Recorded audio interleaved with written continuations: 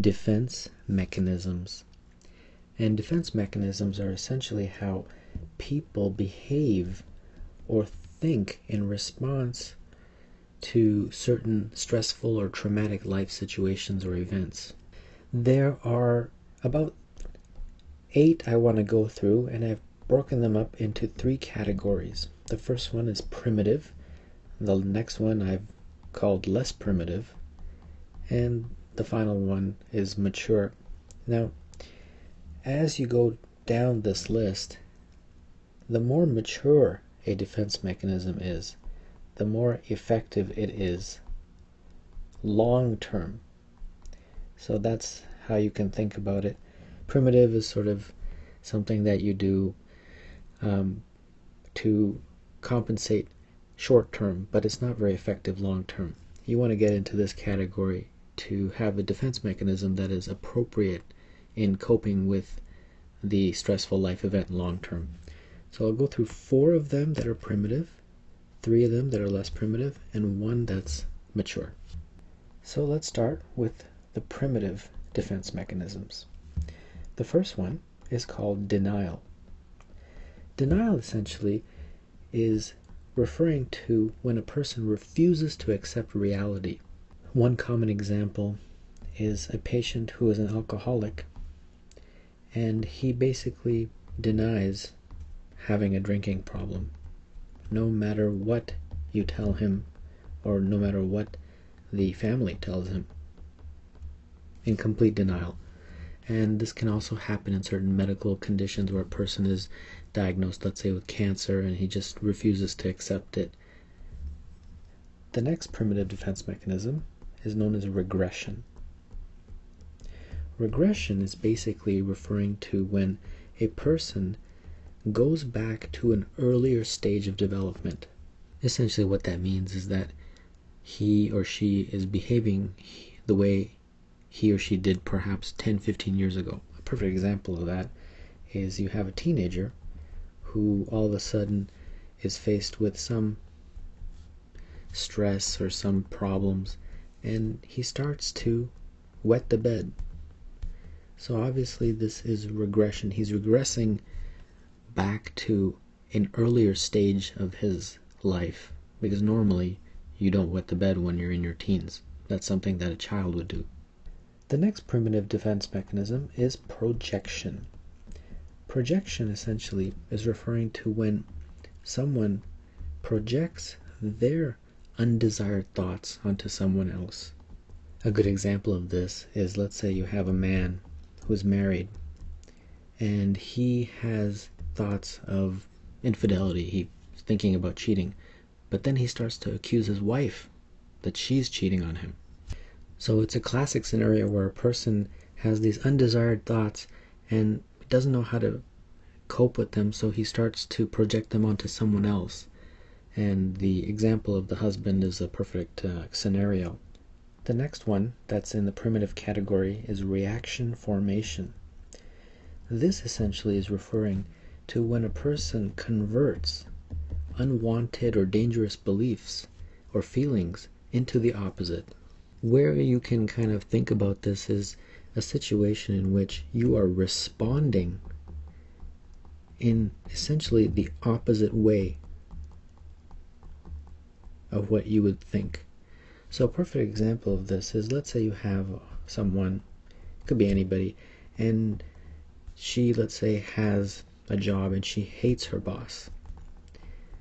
Now, instead of what you would think how she would respond, she's actually behaving in the exact opposite way.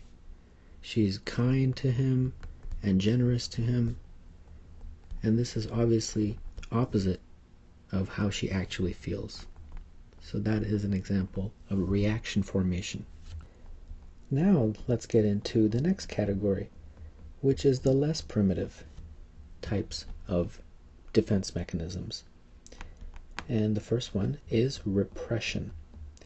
Repression basically is when a person blocks unacceptable thoughts from the past unacceptable thoughts or memories. An example of this is when someone genuinely does not remember any details of, say, their father's funeral. It was such an unacceptable memory that you have genuinely blocked it out from your brain and you can't remember anything about it. The next one in the less primitive category is displacement. Displacement is a classic example of taking it out on someone else. So, for example, a man is very angry with his boss at work. Can't take it out on his boss because he'll lose his job, so he comes home and instead starts a fight with his wife. He can also come home and maybe hit his kids or get angry with his kids. Classic example of taking it out on somebody else, taking out your anger or frustrations on somebody else. The next one is rationalization. This is basically when someone is putting something into a different light, and they do that by offering a different explanation. So, a perfect example of that is let's say you have a woman who is rejected, dumped uh, by a man that she really, really liked.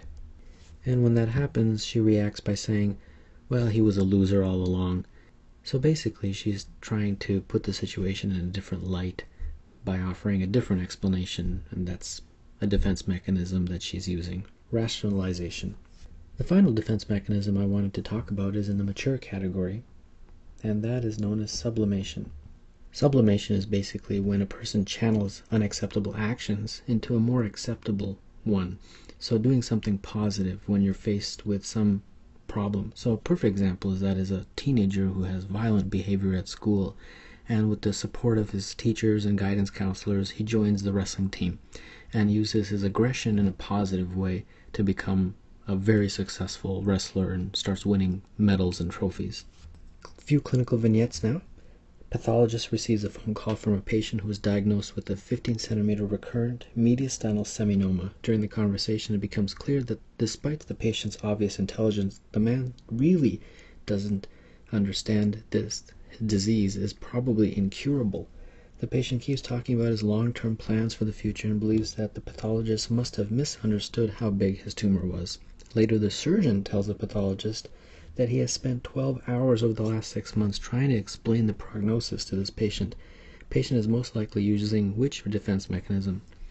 Well, this patient is clearly intelligent, but he is so stressed out about this that he cannot accept the reality, and this is a classic example of denial. 27 year old swimmer who feels insecure about her athletic abilities harshly criticizes her teammates' technique. Which of the following ego defense mechanisms is she using? Well, this example is when a person is projecting their own undesired thoughts onto somebody else. So she is actually very insecure about her abilities so she's projecting that onto her teammate. So that is projection. 32 year old man is in a twice weekly insight oriented psychotherapy with a psychiatrist. Recently, the patient has been exploring his thoughts and feelings around his wife's complaint that he is too restricted and inhibited in their sexual activity.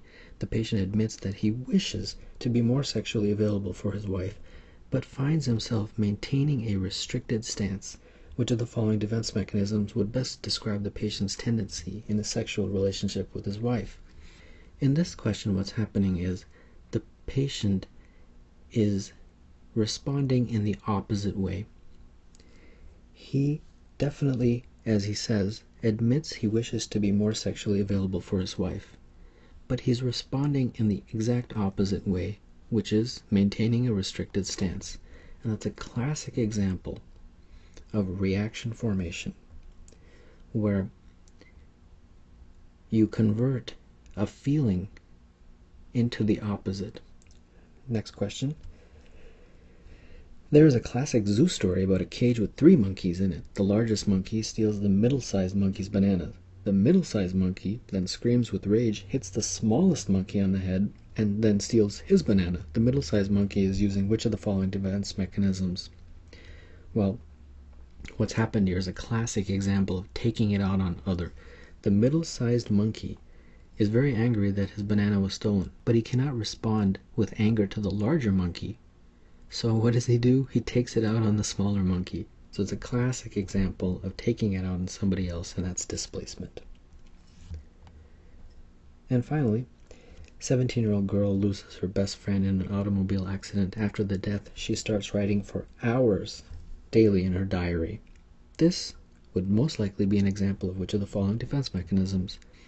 She's obviously traumatized by this event. Her best friend, I'm assuming, is very similar in her age, died as a teenager, and now she cannot spend time with her friend or talk to her friend.